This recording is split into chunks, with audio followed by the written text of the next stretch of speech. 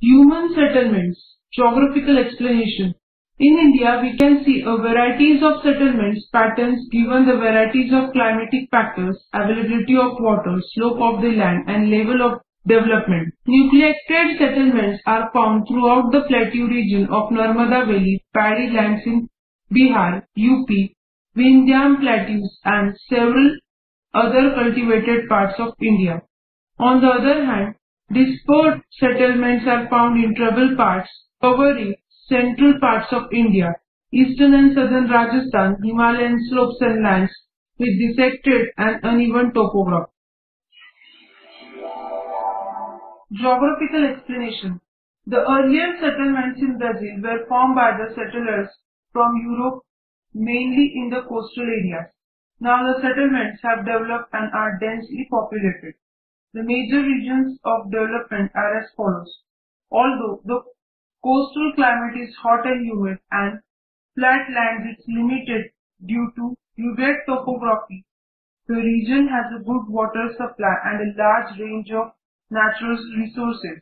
For example, Sao Paulo.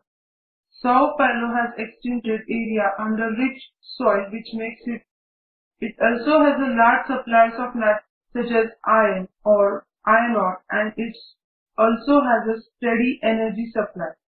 The southern eastern areas has a good transport system. This makes the Sao Paulo area a nucleated settlement. Rural areas such as which makes it difficult for practicing agriculture and hence settlements are spared here.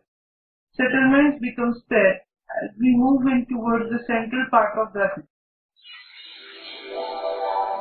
Urbanization Geographical Explanation It is clear from the above paragraph that growth of urbanization has been slow. The level of urbanization in India in 2011 was 31.16%, which is quite low in comparison to the developed countries. At the same time, the urban population is increased expansion of the urban centers and emerge of new towns has played a significant role in the growth of urban population and urbanization in the country. Urbanization has been more in the southern part than in the northern part in the India. Goa is the most urbanized state with 62% population living in urban areas. Delhi is more than 80% urban. In the state of Tamil Nadu, Maharashtra, Gujarat and Kerala, urbanization is more.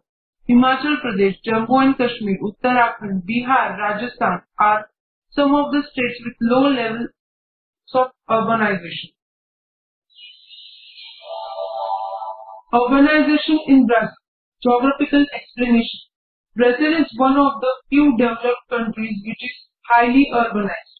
Brazil's substantial urban growth process is unique and one of the underlying factors contributing to its present day rapid economic growth. Today, about 86% of Brazilian population lives in an urban area.